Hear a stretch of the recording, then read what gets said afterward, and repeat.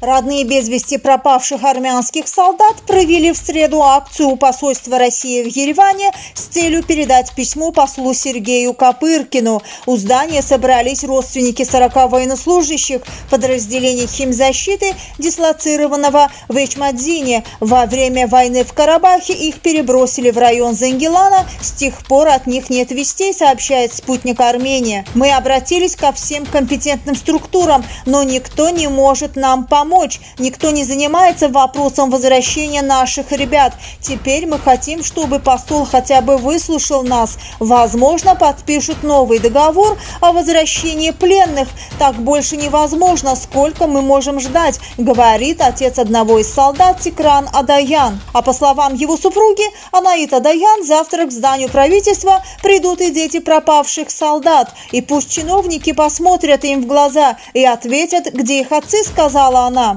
Собравшиеся отказались опустить письмо в почтовый ящик, требуя, чтобы из посольства кто-нибудь вышел и передал его лично послу. Здесь имена 40 пропавших без вести, а установленный тут почтовый ящик, по сути, урна. Пусть придут и лично примут наше письмо, сказала мать одного из пропавших без вести солдат. Однако, таким образом, в посольстве принять письмо отказались. Спустя некоторое время после акции у посольства граждане граждане решили передать письмо тем, кто хочет прийти к власти. В частности, родители приняли решение обратиться на этот раз ко второму президенту Армении Роберту Кочеряну. Отметим, что это не первая акция у посольства России в Ереване. Между тем, диппредставительство ранее заявляло, что озвучиваемые гражданами вопросы не входят в сферу его компетенции.